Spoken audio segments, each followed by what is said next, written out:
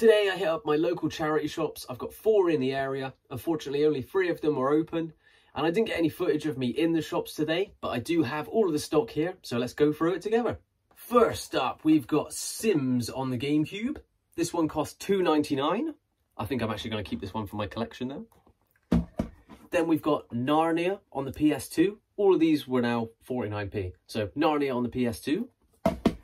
Charlie's Angels on the PS2. Gears of War and Gears of War 2 on the Xbox 360. This was also 49p. Gears of War 3 on the Xbox 360. Deus Ex Human Revolution. Borderlands. Prototype. Max Payne 3. I thought that was a pretty good one. And Tomb Raider. Oh, these last two were a pound each. Funnily enough, the only one that's probably worth listing on its own is actually The Sims on the Nintendo GameCube. Just because the GameCube, they didn't print as many copies of games, so they tend to be worth a little bit more when you're trying to resell them. The plan for the rest of them is to do a Gears of War bundle and try and sell these together, because it's one, two, and three. Maybe try and get nine ninety nine free postage. Then I'll get the Charlie's Angels games, add them to some more PS2 games I've got downstairs, put another little bundle together, probably twelve ninety nine plus postage. And then with the other stack, I'll put together a little Xbox 360 bundle, maybe do twelve ninety nine free postage. I'm still trying to debate whether I should do free postage or charge for postage when doing a bundle. Normally I do free postage on a game just to try and like beat all the other competitors and get the sale. But on a bundle, I'm not sure whether it's worth doing like free postage or whether I should charge for it. What would you do? I also picked up this shirt just because I thought it was really funky. The Flash Collective. I believe it all glows in the dark or if you like charge it up with light, maybe UV light makes it pop. But it was three quid. It's all like 100% natural cotton, independent the Flash Collective t-shirt. So I'll have to look that one up, see if it's actually worth anything. But if not, it's pretty stylish, right? Now, the final thing I picked up that I kind of want your opinion on as well is this jacket. Now, it's got Ed Sheeran, Germany and Sweden 2017 tour. And then it says FKP Scorpio. I'm not sure whether that's like the record label or who the touring company are. But my thinking is that this is like a staff jacket from the tour. So all the people that would be sort of the stewards of the arena or bringing drinks, etc., they might wear this jacket as being a part of the team. It doesn't say staff on the back or anything like that, so it's, it's kind of a classy jacket. Like maybe it was for the bouncers at the front, who knows? But I don't think it's merch, I think it's a staff jacket uh, and I can't find any of these online anywhere. So if you have any information about this or what the potential value of this would be, feel free to drop me a comment, shoot me a message on Instagram. I'd love to know. But the way it stands so far, other jackets, which are like official merch for Ed Sheeran's tours, they, they're priced around like 50 to 80 quid. So because you can't actually buy this, or this was never made for public sale, I think it should technically be worth even more than that. So before I list this, I do want to do a bit more research, maybe get your input on it.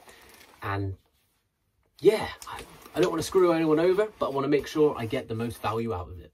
That's everything I picked up from the charity shops. Now I'll show you what sold over the past couple of days, Friday into the weekend. First up, we sold Kororinpa on the Wii. We sold this one for $3.99 plus $2.49 postage. I've been posting everything with every recently, $2.49 as a standard, and then I've been using the fact that it's tracked in the listing. I'm sort of trying to use that as a selling point to get people to buy from me. Next up, we have this plush from Russ. This guy's name is Chaz and we sold him for £5 plus postage. Then if you follow me on Instagram, you may have seen this one on my stories, but I sold the Uncharted 3 Collector's Edition Guide and I bundled the PS3 game with it and they sold for $17.99 plus £4 6p postage. Then we sold Left 4 Dead on the Xbox 360. This was for £10 and free postage. I was sort of having a little play around, trying to see whether I would get more sales if I did free postage or paid. And it's been hit and miss. Like, free postage has been selling up quite quickly, but the, having a paid doesn't mean it's not going to sell. It just seems to take a little longer.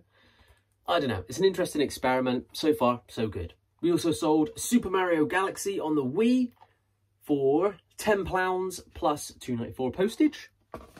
We sold a Wii bundle all of these games here for £20. I've been sitting on these for quite a long time and then I had some more Wii games come in the other day.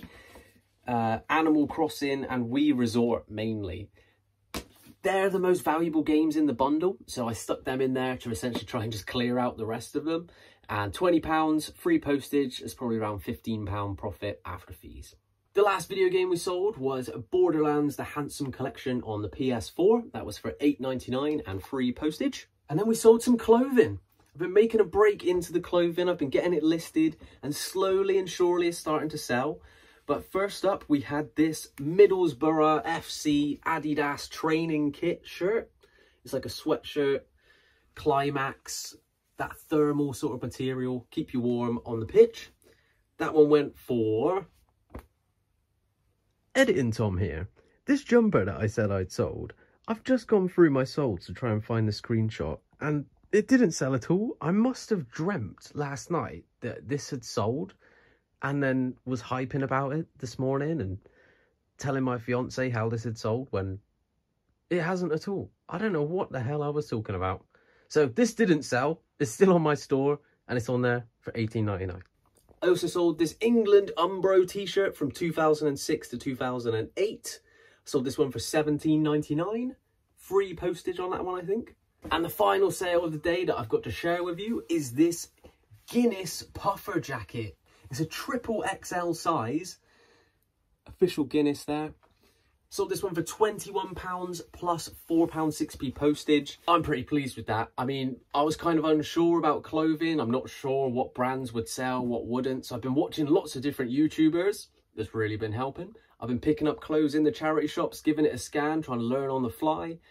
And when I started feeling confident enough to sort of take a risk here or there, I picked up a few things. Slowly, I've built up my clothing pile and now I'm getting it all listed. I think the most I've ever paid for a piece of clothing is the jacket I picked up today. That Ed Sheeran one was £15. I never pay anything more than a tenner normally to pick up clothes. Uh, and it's got to be something really nice if to be a tenner and I'll pick it up. Just like that jacket there, I wouldn't have paid £15 if I didn't think I could get more than 50 for it in the return. I'm trying to move towards sourcing those higher value items so I can get those bigger returns when they sell. Thank you for joining me in today's video. That's all I've got for you today. I hope you enjoyed and catch you in the next one. Go and watch some more videos of mine. See you there in a bizzle. Peace.